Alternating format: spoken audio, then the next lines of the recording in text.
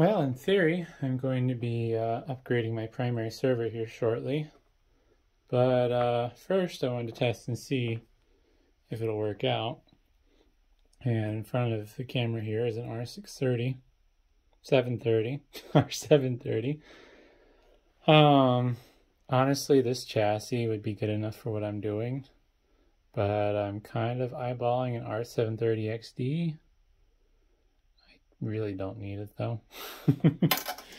but um, if anything, it'd be nice to get a replacement riser 3 for this that was 16x compatible. Um, this was featured in a previous video where I put in the uh, NVMe adapter card so I could put some NVMe drives in this and see how that would work out. So what I need to do now is install this flash drive, which I'm going to put um, ESXi on. Also, this is going to get a Tesla M40 with one of my custom made power cables. And this will technically be the first time I've tested one of these cables on an R730 but I have no reason to believe they won't work because they're wired, well, at least the riser end is wired to factory spec. There we go. I worried for a second. Just have a little, little bit of a tricky moment there getting it lined up right. Alright. So this chassis pretty much the same as that's different. Um, the R720. Some minor differences, but I don't think any of those differences will matter from a power cable standpoint. Should just be business as usual. All right. I do notice that this little uh, retention bracket is a little different in design. I don't know how I feel about this new design. It's a little more difficult to work with. There we go. Alright, I need my cover.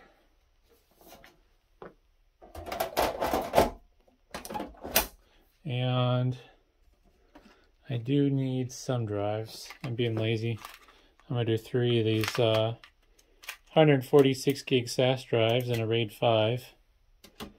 Only reason I need these is because I need something I can point TrueNAS to um, for a boot drive.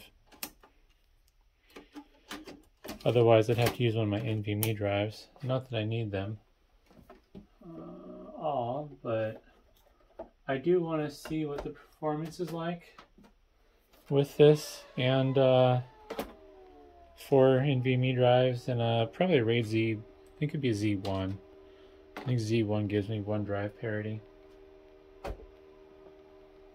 Turning on. Oh.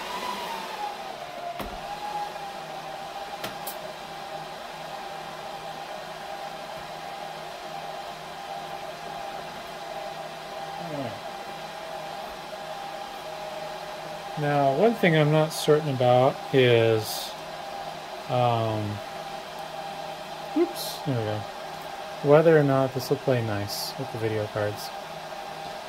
Um, the R720 didn't seem to care. It had the wrong power supply. And I don't have any reason to believe that this is going to care either, to be honest. I do think it's going to have some life cycle stuff it's going to need to do, and I'm going to have to set up the drives though. Uh, control R. Alrighty. That's not what I want. Dun, clear config. And uh, I guess we will clear the foreign config. There we go. Create new virtual disk. Do RAID 5.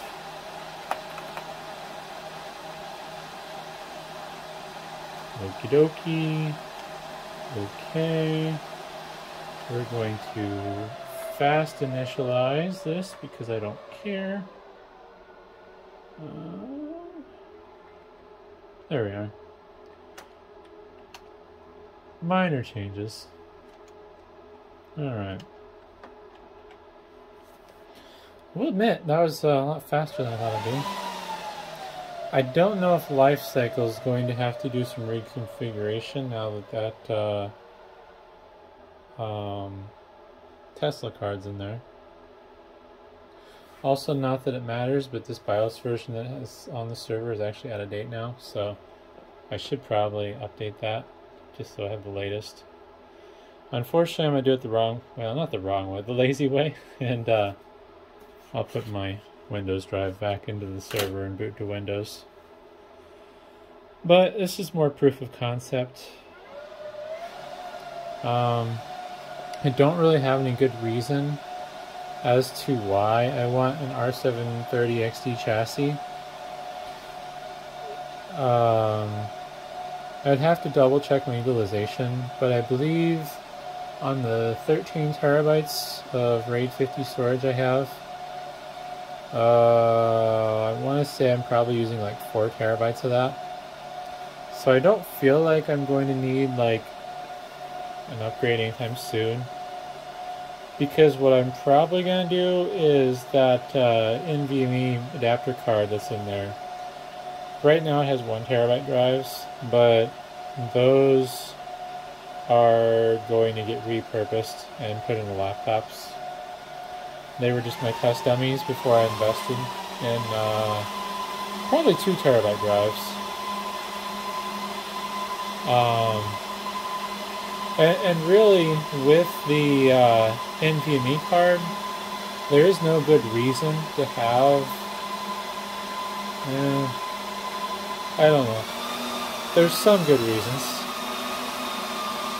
Oh. Let's see. F11. Fans in this are getting a little angry for some reason. I don't know why.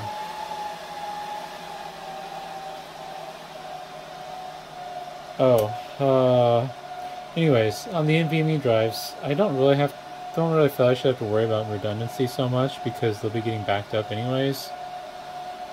But the NVMe drives are going to be lower quality than the Intel SSDs that I have because I'll either be running like some Samsung drives or I may cheap out and get the Crucial P3 drives. It's just I don't like the Crucial P3 drives because their endurance is so low. And it's not a matter of needing the endurance, it's just if it's my own stuff, I'd like it to be bulletproof. Uh, which is why I'm running those Intel S5400 drive, or no, no, S4500 drives and a uh, RAID 50. Uh, let's see, this one is what I want.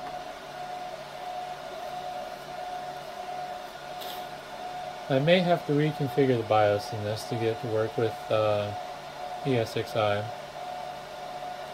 Should be a default BIOS settings though, other than the PCI Express bifurcation um, being set up for slot 4, I think it is.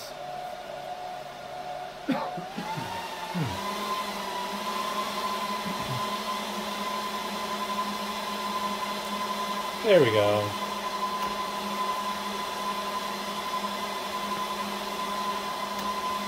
One thing I am doing that's debatable is installing ESXi 7 on a flash drive.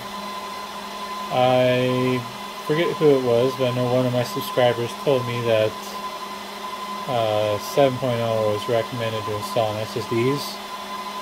So that's where it'd be beneficial to have uh, R730XD because I would use the two back bays for my uh, ESXi boot drives and I'd have those in a RAID 1. But, uh, yeah, since I don't want to give up storage space on this, I wouldn't be able to dedicate uh, SSD to the boot. So I'd be booting off a flash drive. Um, I could buy a dual SD module for this as well, like I have with my other R720s in my rack. But I think with the money I'd have to invest in upgrading this the way I want it, uh, probably cost me the same to just buy an R730 XD. uh, problem is the R730 XD I'm looking at from uh, ISO on eBay has iDRAC Express. So that means if I buy an R730 XD, I'm either going to have to pay a bunch of money for one that's fully configured the way I want it, or I'm going to have to buy one that's a bare bones config, and then um, play musical parts to get the actual config I want. So, I don't know. I have mixed feelings, but I haven't had any luck finding the parts I need to do a chassis swap to convert this um, oops, this 8 SFF Bay R730 to an R730 XD. So, yeah, that's a bit of a bummer. Um, but I think I'm going to pause, get something to drink, and uh, work on getting ESXi installed, and I'll be back. Well, you'll notice it's a little bit louder in here now. And I have all the virtual machines set up. Just did it kind of quick and dirty.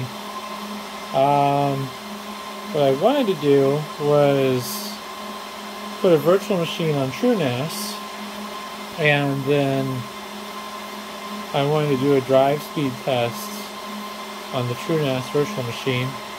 But there's something I have set up wrong that's preventing me from doing that. So I don't know what to do about that. It really doesn't matter. I was just kind of curious to see how hard I could hit the uh, NVMe drives. An interesting quirk, well, not really quirk, I think it's running as designed, is I cannot force the fan speed on this any lower than 60%, which is around 12,000 RPM. And uh, compared to my R720, it's a lot louder because the R720 is running the fans at around 8,000 RPM in that 60% setting.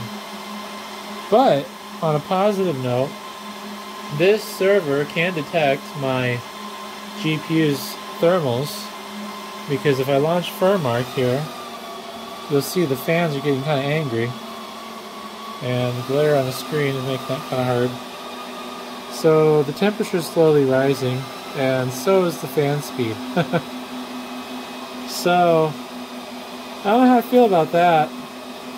Um, having NVMe would be nice, but at the same time, the fan speed's going to get on my nerves. So I'm going to have to do some tinkering with this and hopefully follow up with another video.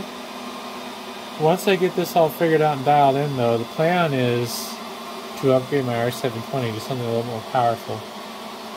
But uh, yeah, I think that's where I'm going to cut this video off and uh, we'll see what happens.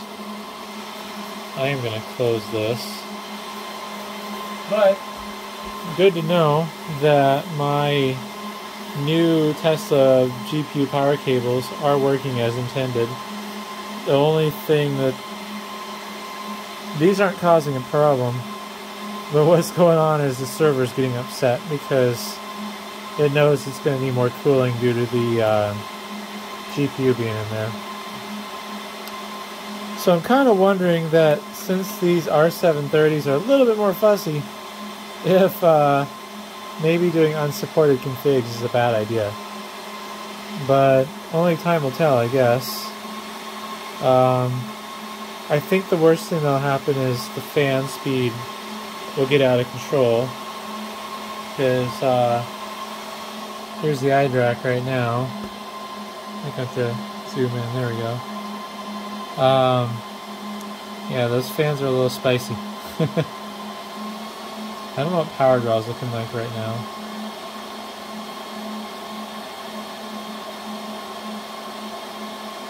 Looks like we peaked at somewhere around 300 watts. Uh, Let's see. 500 watts, wow, okay. I might need to get 1100 watt power supplies to keep this server happy. Um, I don't know. I got access to 700 watts basically. So, I don't know. I'm gonna have to play with this some more and uh, see what I can do. If I can get this into a stable config that's a little happier with life, um, that's the goal. But in the meantime, it'll be a work in progress. But hopefully that's interesting and thanks for watching.